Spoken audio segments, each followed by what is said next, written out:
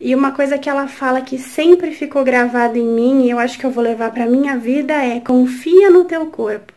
O meu marido me falava muito isso no final da gestação, quando a gente começa a ficar um pouquinho mais amedrontada que tá chegando a hora, né? E ele falava: "A Betina não diz, confia no teu corpo, então confia que o teu corpo vai saber o que fazer".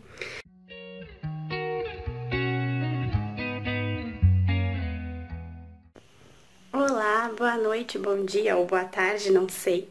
Eu sou a Carol, eu sou de São Paulo.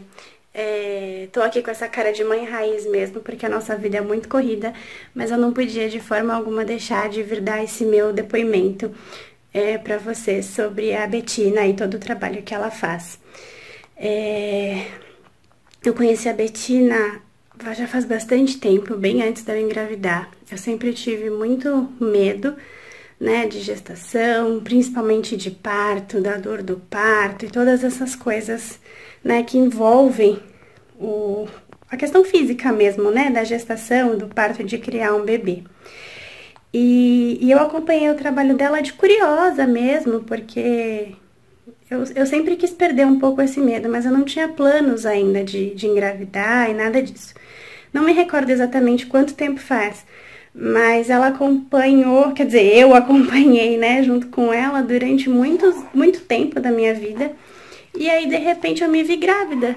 E aí eu falei, puxa vida, tô no lugar certo, né? Com a pessoa certa que vai nos ajudar é, a trazer esse pequeno pacotinho de amor pro mundo, que é o Davi. Meu bebê tá com 42 dias.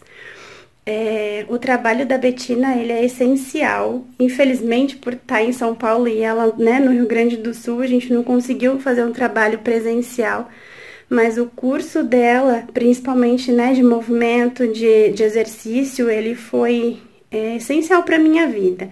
No início eu, eu falhei um pouco, não consegui fazer todos os dias porque o meu corpo não estava preparado para isso. Mas eu assistia todos os stories delas todos os dias e aí de pouco em pouco eu ia insistindo e falando, não, vou acompanhar, vou fazer as atividades todos os dias. E isso me ajudou muito é, mentalmente, né, psicologicamente, afetivamente, inclusive, e o meu corpo. E uma coisa que ela fala que sempre ficou gravada em mim e eu acho que eu vou levar para minha vida é confia no teu corpo.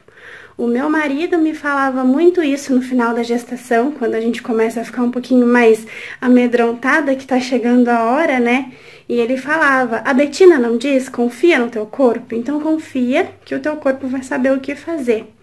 O meu parto acabou sendo cesárea, por falha né, na indução, a gente fez de tudo para que fosse normal, não conseguiu, mas isso também ela conseguiu trabalhar em mim, mesmo sem saber. Né? A medicina tá aí avançada para ajudar a gente, então deu tudo certo, foi um parto maravilhoso.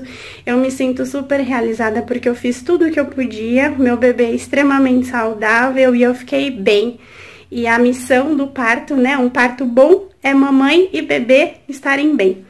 Então eu queria agradecer muito por todo o seu empenho nesse trabalho, mesmo sem conhecer a gente, sem saber quem somos nós. Você está tão disponível e disposta a ajudar, sempre ter uma palavra de apoio.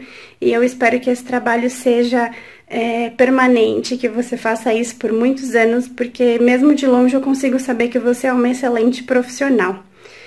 Um beijinho para você, meu, e um beijinho para você do Davi, que acabou de dormir. E só agora eu consegui vir gravar. Um beijo, Deus abençoe.